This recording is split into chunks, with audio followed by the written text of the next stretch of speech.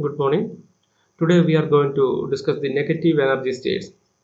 In the last class we have discussed the plane wave solutions and we have seen that just like the Klein-Gordon equation, Dirac equation also gives positive and negative energy solutions. So you have to explain the negative energy solutions. The energy eigenvalues are plus or minus root c square p square plus m square c raised to 4. Here m is the rest mass so when energy levels are calculated in the relative equation of quantum mechanics, there are two sets, one all positive and the other all negative. We have represented the positive energy values as E plus and the negative energy values as E minus. So E will be minimum when your P value is 0. So for E plus, the minimum value will be when p equal to 0 this equation become e equal to m square c raised to 4 the whole raised to uh, 1 by 2 so it will become mc square. Similarly for e minus when p equal to 0 the value will be minus mc square. Now as p increases here the value of e plus will increase from uh, plus mc square to infinity because as p tends to infinity the right time will tends to infinity. In, in a similar way for e minus the value will start from minus mc square and it will decrease to minus infinity as p increases. So we can graphically represent uh, this one like uh, in the y-axis we are taking the energy values. Let it be 0 so this corresponds to E equal to 0. Here the energy spectrum of a free particle has two branches corresponding to E plus and E minus. The value of E plus starts from mc square and uh, extends to positive infinity. Let this represents the energy corresponds to mc square. So the E plus value can start from mc square and it can increase up to infinity. Similarly, for E minus, the value starts from minus mc square. This corresponds to minus mc square and as p increases, its value can decrease up to minus infinity. So here you can see the energy spectrum of a free particle has two branches corresponding to E plus and E minus one starts at mc square and uh, extends to plus infinity and the other starts from minus mc, mc square and uh, extending to minus infinity. Now these two branches are separated by a forbidden gap of width 2 mc square. This difference is mc square and this difference is also mc square. So the total difference is 2 mc square. Now it is very difficult to imagine such negative energy states because even a small perturbation could cause a transition in an electron in a positive energy state to a state of negative energy state. If you consider this uh, one electron in this particular energy level, even a very small perturbation can lead to a transition of this electron to uh, the lowest energy level minus mc square. Now consider an ordinary electron of mass em. So it will be somewhere here if its uh, momentum is 0 it will have an energy mc square.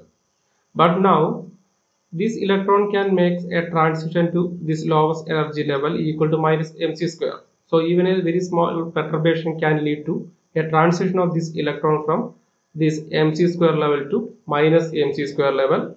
And correspondingly it will emit a radiation of energy to mc square. But no such things are observed in reality so what do the negative energy levels mean and why didn't all the electrons in the universe fall into them and disappear? The explanation was given by Dirac. According to Dirac, electrons didn't fall into the negative energy states because all these negative energy states are already full. As electrons are fermions, Pauli's exclusion principle will prevent transition to such occupied states. So according to Dirac, what we call empty space is actually a sea of negative energy electrons. And it is assumed that these electrons have no physically observable effects. So if we give an electron in the negative energy state enough energy, it will jump up into the real world and visible as an ordinary electron. And the electrons in this particular area that is electrons having negative energy states have no physically observable effects. So these are invisible. But when you are giving sufficient energy for an electron in this negative energy state, it will promoted into the real world and would be normal in every respect but it would leave a hole in this negative energy state. Hole means the absence of a negatively charged electron. So when you are when you are giving sufficient energy for an electron in this negative energy state, it will make a transition to the real world, leaving behind a hole here. And according to Dirac, such a hole will behave like a positively charged particle. At the time Dirac came out with this, this, idea, no one had the guts to suggest that there might be a new particle with a positive charge and the mass of an electron. And nobody took the idea very seriously until Carl Anderson, an American physicist, discovered positron in 1932. The positron has come to be referred to as anti-electron because when it comes into contact with an electron, they annihilate each other Actually, the positron was the first discovered antimatter. So Dirac's electron sea clearly explains the nature of annihilation of a positron and electron. When an electron comes into contact with a hole in the negative energy sea, it spontaneously fills the hole and consequently must release the excess energy in the form of radiation. So using this uh, concept, we can explain the pair production and pair annihilation. So when an electron in the negative energy state acquires enough energy, it will be promoted into the real world, leaving behind a hole here and an electron here. So it can be considered as the pair production process.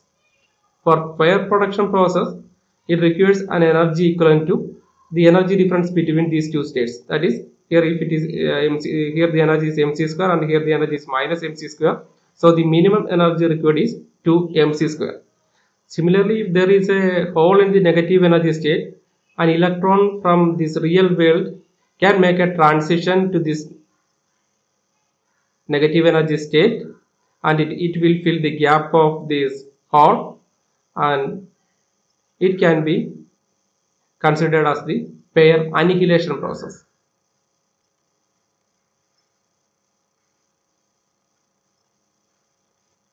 The great explosion of particle physics since 1940s has its roots in Dirac's development of quantum theory.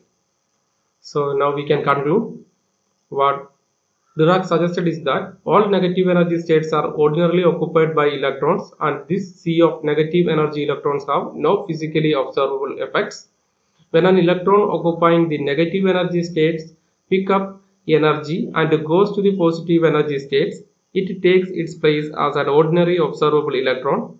The empty space in the midst of the negative energy states behaves as if it is a particle of positive charge and this empty space is called a hole.